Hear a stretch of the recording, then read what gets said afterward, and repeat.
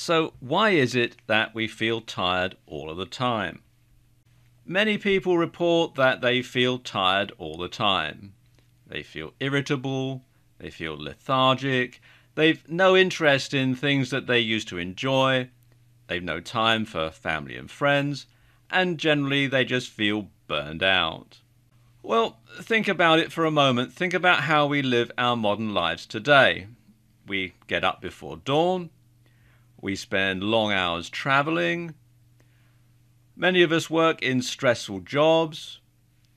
We eat poorly. Lots of people smoke, drink too much, and generally don't get enough sleep. Well, no wonder we feel tired all the time. And if this is you, well, perhaps you're allergic to modern life. And it's not really surprising because our minds and bodies haven't really changed that much from those of our Stone Age ancestors, and they lived a very different lifestyle to the way that we live. They got up and went to bed with the sun. They ate foods that were in season. They had fairly moderate stress levels. They walked everywhere and they lived in harmony with nature's natural rhythm. Of course, Stone Age life had its downsides as well. People generally didn't live long because uh, they didn't have the drugs to treat diseases like we do. They couldn't recover from injuries like we do. And, you know, it was a generally a much harder life. So there are some advantages to modern life. So nowadays, you don't have to go and hunt your dinner or grow it. You can um, shop for it in the supermarket. And when the weather's bad, well, it just means prices go up. It doesn't mean that you're going to starve because there's a famine, at least not in Western countries anyway.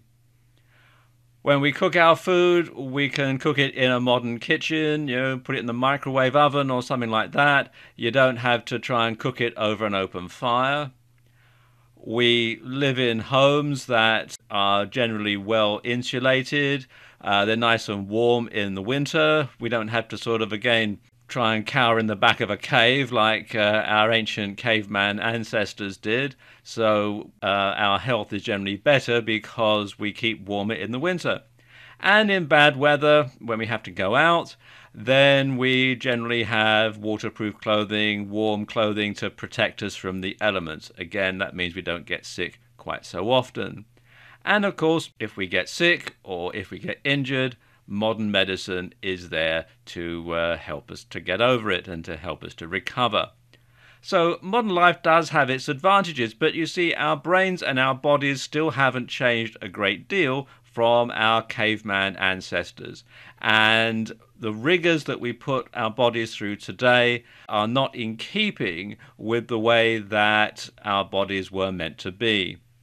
However, it is possible to have the best of both worlds. You can combine all of the advantages of the modern world with the way that our bodies and our brains are supposed to live. And you can successfully treat your modern life allergy. You can have plenty of energy, and you don't have to feel tired all the time. You can get the best out of modern life living in harmony with the way that your body has evolved to be. And we'll get down to business and show you how to start doing that in the next video.